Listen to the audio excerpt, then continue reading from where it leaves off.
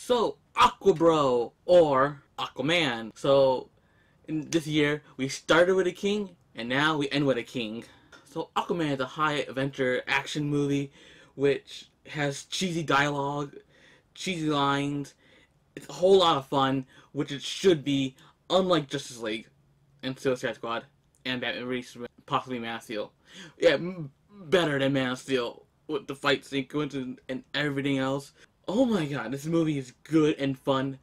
Like, Wonder Woman and Aquaman are in the right direction. It's a good thing, like, I was say James Gunn, like, soon probably, because he's making a Suicide Squad 2, whatever. But James Wan wanted to make a fun Aquaman movie because well, he saw Justice League and he said, he said on Twitter, uh, "You guys, I'm making a fun Aquaman movie. Don't worry." And he also commented on Justice League's water bubble that Mera and Arthur can't was speaking in they can't speak in water. They don't need air to speak or talk, which is great. Everything look he, here underwater is great. There's a bit where Patrick Wilson does look like he's CGI. he looks more. Well, Jason Momoa looked more realistic than Patrick Wilson. Don't mean to trash Patrick Wilson. He made he was fine as Ocean Master or King or whatever, but there was a bit where he just looked like he was a CGI of the water was CGI. The hair movement. I was. I wonder how they worked. I wonder if he had like a like a little like, scrunchy and like James Wan just put uh CGI hair over that. He did it. He made a fun, good Aquaman movie. So this is what the DC's movies should be like: fun action movies, like the Marvel movies. Even though this one's a bit more campier than the Marvel movies, some of the Marvel movies are campy, but this is like campy, like CW campy, like these same names, like like what Ocean Master or King or like oh, if you control all seven kingdoms via Master of Oceans, that's bit on the nose, and with Black Manta's name as well, like his grandfather had like the nickname Manta, whatever. So you see what I'm saying there? It's almost like with um, almost like with CW Flash did I um, did I just say this in my Bumblebee review? I thought I wrote it in my notes, but like, where's my notes? I thought I wrote it down, but I was gonna say, you run fast in the Flash. You call you the Flash. That was in my Bumblebee review. You can go check that out if you want to after after this. Whatever, I don't know. Do what you want. Now, should I have seen Aquaman IMAX like how I think it was originally intended? Because it looks visually stunning. Like, oh my god, this looks better than Man of Steel. This is what Man of Steel should look like, all glossy and like shiny and bright. The underwater city, like that. What, what gray futuristic Terminator shit that he did, Zack Snyder did in Man of Steel. Like, what the hell? Even the fight sequences are better in here. With the underwater water fights, it's like being in the air, kind of. And they did a lot better with the Aquaman fight and Ocean Master fight, which was a lot better than the Zod fight and the Superman fight. And also the CW does it better too. With that Superman fight and the Dark Superman fight was a lot better than Man of Steel. There's only one building that crashed in that fight. Oh my god, I'm going on tangents now, am I? The Bumblebee one, I had Michael Bay tangents, or rants, or whatever. This one, I have Zack Snyder tangents and rants. And what's with Zack Snyder making everything look weird and like out of like touch with the, the with the cartoons and comic books and stuff like that. Like you want you're making things too, like, too realistic and it doesn't fit the tone of a, a comic book movie. And like Aquaman shoot looks like shit in his movies, and and the Flash and Cyborg, and also Batman. Even though it kind of looks like the comic version of the Dark Knight, it, it, it is too bulky looking because you're not using real missiles, and the Flash shoots disgusting. I prefer the show. And I'm glad James Wan made this suit in his movie and wanted to do this because he's a fan of the cartoons and comic books and uh, everything else. I think I had more.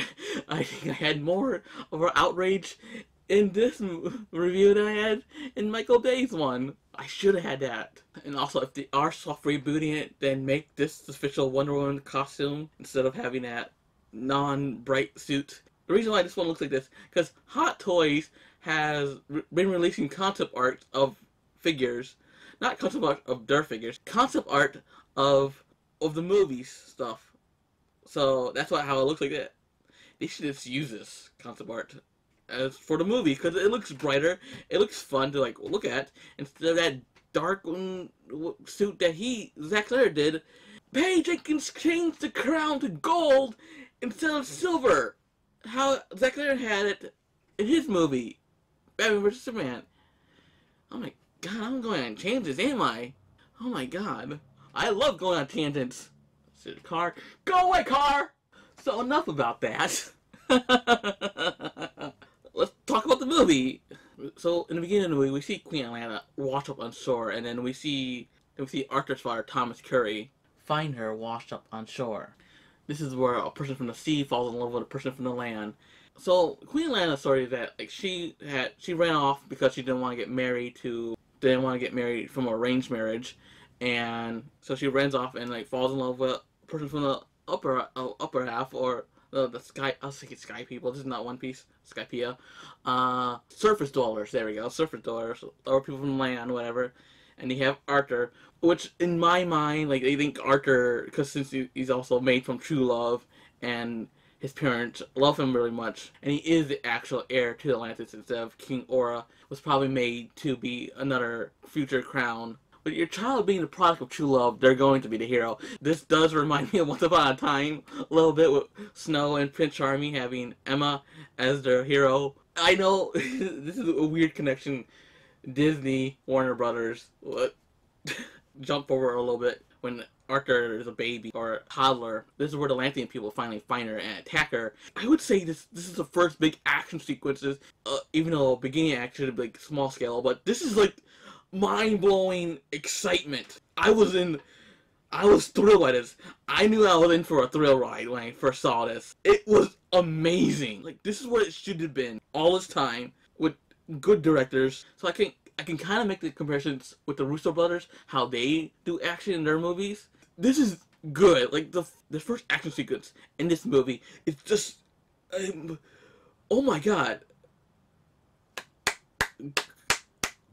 She kicks ass. The queen kicks ass.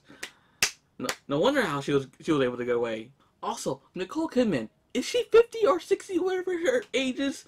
Holy crap, she looks young. I also know that she wanted to do something like kick, uh, super kick ass like this. I'm glad for her that she actually got to do some kick ass stuff. I mean, she kicks ass. Holy crap. This is, then she has to leave because, well, then Queen Atlanna has to leave. Her actual partner have married the person that was arranged for her to get married to. That's how King Orra is born. So then we jump forward. Well, we see Aquaman as a little kid, but we don't see him get bullied. It, kind of. We don't. We there are bullies, but they're afraid of him because he controls fish. And then okay, so then we jump forward again. But there's actually pretty good jump forward and backwards. I'll talk about them later. But right now we see we see Arthur taking on pirates that's hijacking a submarine. It feels superhero-y. How like all, all those bullets that those pirates are shooting him and they have swords and trying to stab him. It's not working. This is this is just great. Everything is just bouncing off of him, like breaking off of him with swords, and everything is just great. It's Aqua, bro, yeah. So he does get in a fight with the the Manta people, whatever, and this is where we get to see Black Manta's origin, how how Arthur didn't save Manta's father because he was a thief, and and thieves should get their unbecomings. So there is that like it's like I guess superhero ish stuff with Black Manta. Like I don't understand like how like he has a family. He's the one that has a different family and has the quirky building montage of his suit. I did not like that. Even though he looks cool and he has like this cool black suit, I thought was too bulky in the trailers. He's looking like a black alpha. Ay ay ay ay ay.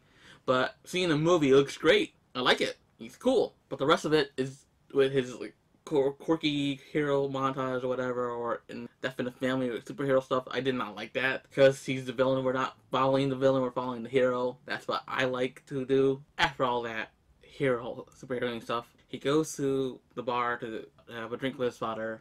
or and they have good chemistry because like everything is like very believable. Everything has actually good chemistry or okay chemistry with every all the characters. I like it. So when they leave in the bar, um, they get to see another character, Mera. She's trying to get Arthur to be the king of Atlantis because he's the rightful ruler. He's the oldest. He's Queen Atlan's first son, but he doesn't want to because since they killed his mother, that's what uh that Willem Dafoe's character Vulko um because for falling in love with a human and having a half human half Atlantean hybrid. So as they're driving, like as Arthur and his father are driving, ocean attacks him, but Mera saves him and tells them that like King or uh, Orman or whatever Ocean Master says that he will do nothing to like he'll do everything to stop you from like actually, or just doesn't want you to be alive because you're a thorn in his sight of why his mother left Atlantis. So Arthur decides to like, do you want to get rid of me? I'll go there myself and try and get rid of them, whatever. So they go to Atlantis, and it's beautiful. It's like going to Wakanda almost. Like I said earlier, it started with a king, it ends with a king. Start with a new freaky world, and then we end with a new freaky world. It also looks better than Avatar. So they, yeah, they go to Atlantis, and they meet up with Vulko, and he talks about like about finding the original Trident that controlled Atlantis, or from the first king of Atlantis, thousands of years ago, ten thousand years ago, when Atlantis first fell into the sea. The set of there's like this thing with the seven kingdoms and like with King Ord and him like wanting to rule all of it, wanting to be the ocean master. Yeah, there's like that thing, and then if Arthur has the trident or finds the trident, he will rule over Atlantis or all the seven kingdoms, which they split apart how would you control those? I was gonna say that like how would he control those trench dwellers? But he was controlling them in the at the third act, uh, like with the with the trident probably, or he because he or because he can talk to fish and they're fish-like creatures. So the end of game jumped by Orm's guards, and he ended up getting captured, and then he's been taken to the throne room where King Orb is right there, Orin or whatever. I'm pronouncing his name wrong, I, think. yeah. Orm. Orm, mate. Say or and M. Orm. That's how you pronounce it. I have it right there, but I'm saying different words. I do that sometimes. Say or and mm, Orm. That's how you say it. Or Ocean Master or whatever. So Arthur talks some smack to Orm, and then they end up getting a challenge, like challenge for the throne. Like in Black Panther, there are slight comparisons to Black Panther. I, I, I, as I said, again, begins with a king, it ends with a king. I'm just gonna keep on saying that. That's, that's the theme of today's video. And again, with the fight sequences, it's just awesome. The scale of it, it looks massive. Like, maybe I should have seen this in IMAX. Like, I wonder if this was filmed, this part was in IMAX, like how it does that. Like that. But yeah, I should have saw this on IMAX. It's beautiful. Everything is jam packed with action. It's awesome and it's stunning and it's just like this is how it should be. But it's still the, the cheesy dumb fun stuff, but it's not like that high on my list. I also did that said that Vulko is the one that trained him and the one that teach him how to swim and fight, right? Forgot did I mention that? Forgot to mention that? Oh yeah, he did. He put up a good fight with Orm but he ended up losing and breaking his mother's trident. So, but good thing Mera was there to save him. And also, Mera was to marry Orm, which I don't think she wants to, because, well, well he's not the hero, so, yeah. he's just this, like, he's just this over-the-top villain that's like, I wanna be king! Ah! Ocean Master! Yeah! It's fun, it's just cheesy fun.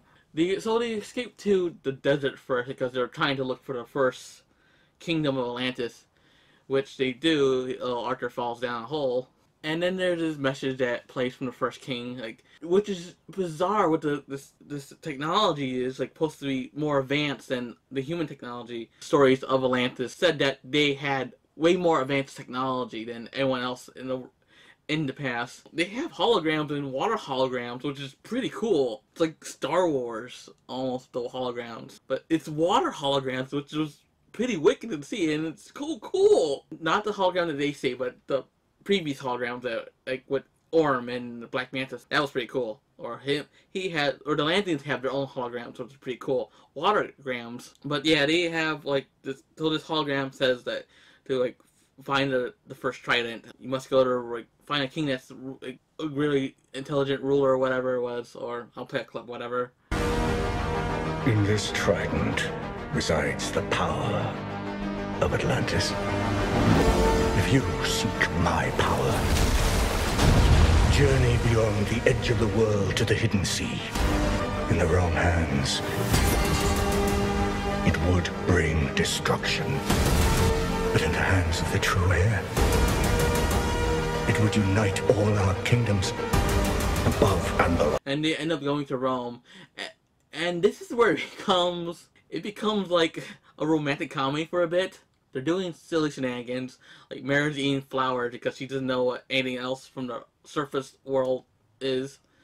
You don't eat flowers, and then I like how Arthur also eats the flowers as well. I think she sees somebody eats an apple or whatever, and then she thinks it she thinks it's food, and just eats it. It's a lot like the Little Mermaid with, with her fork comb thing, whatever. It's kind of like that, even though she also looks like the Little Mermaid as well with the red hair. And also Scarlett Johansson. Amber Heard and Scarlett Johansson do look alike. Hmm. We're all related somehow. So they do end up like finding where the direct direction to go to find the trident. And well, thanks to Arthur knowing his history, so he's not a dumb brute. So he does know some things about like Greek or Greek rulers or whatever. But yeah, he ends up like because they had this bottle at um that he had that will take take them to Greece or Rome, whatever. There was a statue that was that that was in a certain position to like have like a glass right there or a glass bottle in order to know where to go. But yeah, and that's how like, they know where to go, and that's and they get jumped by Black Manta and um and his crew that's Atlanteans. Well, he has Atlantean armor now and metal. Also, when he was getting his armor, he should have said something like this. Does it come in black? Would have been fun and a good callback to Christopher Nolan's Batman.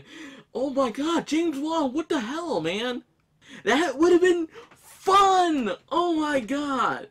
What are you doing? I wonder if he did, but he took it out. If he did, leave it in! Leave it in! It's fun! Throwbacks are fun to other movies and other uh, things. It's fun! This movie's fun. It would be more fun if he did that. I know you had a lot more other things in there, but just one more cheesy thing to say. A throwback to a good Batman movie. And then we get to another, like, good chase action scenes. So I watched a breakdown of, of this particular scene, which is amazing how some things were CGI, some things were not. For like one of the um, minions or soldiers or whatever that was chasing Mara, cameraman was a stunt actor, so he was following that one. So it was not all CGI. The door breaking was CGI visual effects. That was pretty cool. And there was a lot of things that were a visual effects, like the landscape was visual effects, which I was thought was real. I thought, yeah, they had Amber running on buildings for real, but it was actually fake. It was like, I was mind blown at. It was just like all visual effects. What happened, Justice League? Why did it look like shit? It should look like this. That Vanity Fair thing that he was doing, he was having a fun time breaking it down. I love watching those clips of Vanity Fair of the directors breaking down things. This was probably the most fun one to actually watch. Of him breaking down that scene. Was just so amazing. It's great. It's this is how it should be. Again, this is how it should be. Oh my god, am I going to do another tangent? I hope so, probably, because I like doing tangents. Well, Black Manta has Atlantean armor and metal now, so they can actually cut him. So yeah, I'm changing topics now. So Black Manta ends up defeating Arthur, and then Mara like, has to save him. Oh my god. Talking about good things is making me exhausted a little bit. And they end up going to that. Also, she steals the bolt, and they end up going to that place to find the trident, and it's near the trenches. And this is where we got a good scare out of me I hope other people got scared, but because old James Wan is a horror director with the trenches creatures just like popping out like bah, just good. I got I I was hoping that he'll scare me because the Conjuring movies they scare me, and this got me too as well. So good job on that. Keep your horror stuff up. I mean, oh my god, that the light, my my spotlight is like uh. I'm seeing red. Yeah, also in the meantime, like, King Orm is like talking to other like rulers and like killing them or making exchanges and like trying to start a war. It's the typical villain king, I want to be king stuff. That's a that, that's his model. That's his story. Typical. So let's go back to the hero stuff. They end up escaping the trenches dwellers, and since they are also afraid of light, because they're going to a place that had very very bright light, which is like a vortex that took them to like this other island that had dinosaurs and Queen Atlanna, which she's not dead. So Queen Atlanna is alive, which is so hilarious seeing that like Aquaman's parents are alive, which is so hilarious with seeing that Batman's parents are not alive. Superman doesn't have his dad. Flash has his dad in prison. First superhero to have both their parents alive. Yeah, and so she's been there for like 20 years. About the only power to escape is try and get that trident from the original ruler of Atlantis out of his grips. And there's also a giant monster that's guarding it. So, and she says the only the true heir to Atlantis to, can do it. Isn't she like a descendant too? I guess it could be like one of those thousand year things because that when he, when he does fight the monster, it's voiced by Julie Andrews. The seas are alive with the sound of music. It can't be copyrighted because I said the seas alive, not the not the hills alive. Yeah, so the giant crab monster, whatever, is voiced by Julie Andrews. Aquaman fights her for a little bit, and then he actually can understand her because like, and she says like, I haven't heard an actual mortal or whatever, some kind of previous heir to the throne has failed because he probably couldn't talk and understand what she's talking about or uh, can't understand her, whatever. Because the first king can talk to her, the very first king can talk to her, and now Arthur can talk to her. He has that echo shown out. Uh, she likes him because she can talk to him or understand him. So she gives him the try to, to try to take the trident out of the hands of the first king, which I thought of King Arthur because his name is Arthur Curry. In King Arthur, he pulls a sword from the stone. Now the trident, pulls the trident from the dead body. and he pulls it and gets the armor as well. The armor, I thought it would look, I thought it looked goofy at first, like seeing that ab crunch right there, and it didn't look as great at first, but seeing it over and over again with promotional shots and whatever, it looks good in promotional shots, like the posters and stuff like that. But the ab crunch is just dumb. In promotional shots, it looks fine. It kind of looks like a superhero like muscles.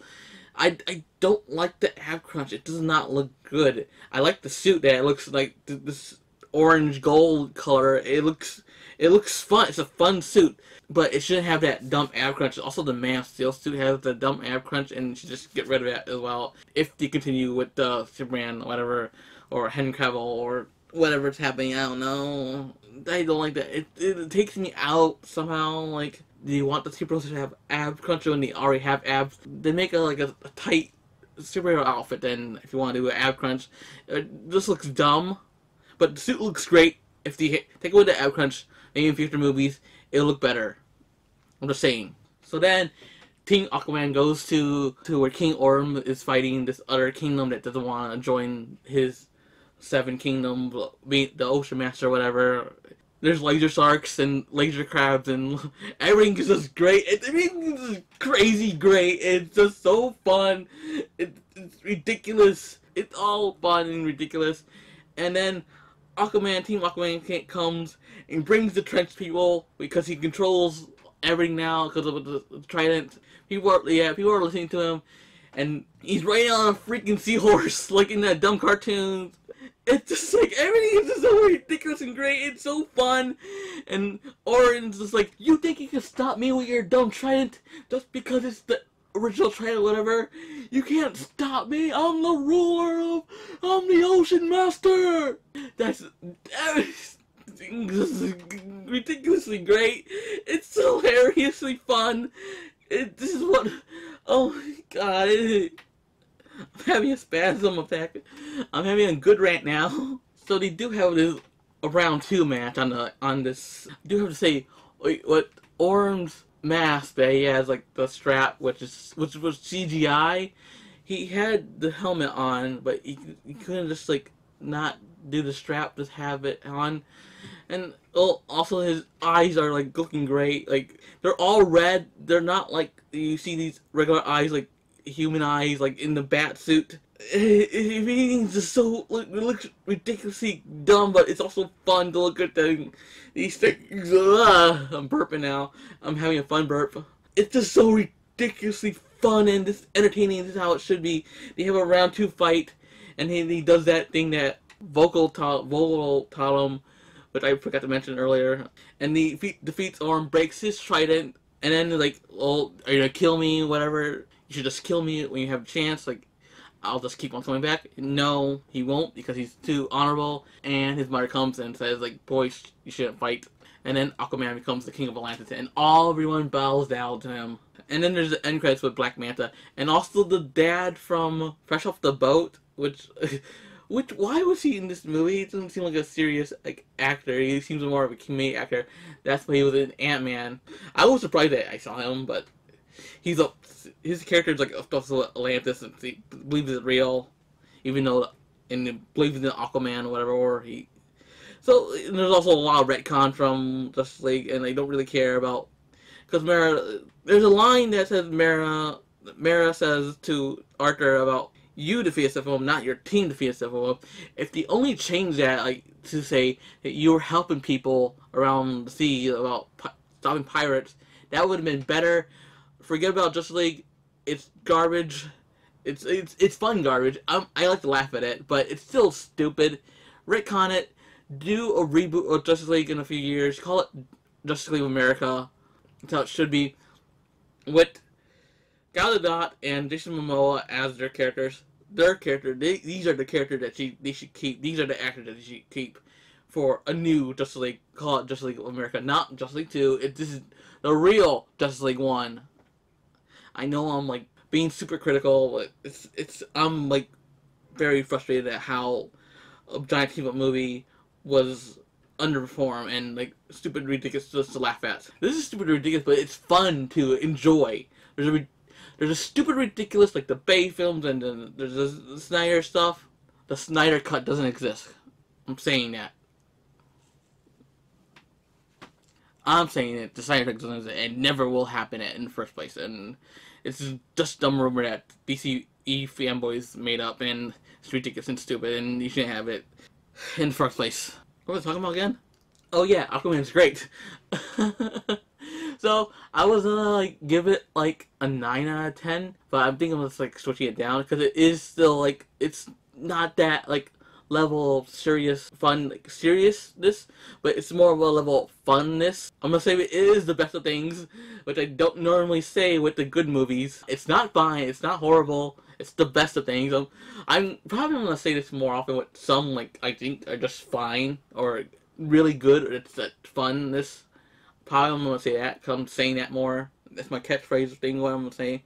So obviously I enjoyed Aquaman. Did you enjoy Aquaman, or did you not enjoy Aquaman because you are sick of the DC Universe movies and think it's just dumb, or did you not see it and just watch this review to see? If... So please give me a comment down below, give me a like, and helps me out, and subscribe for more. I've been MattVinOne, and see you later, moviegoers.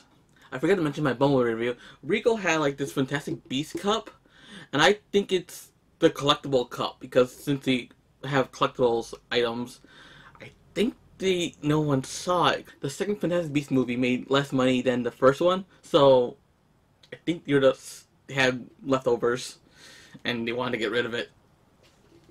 I'm just gonna throw it right here. There.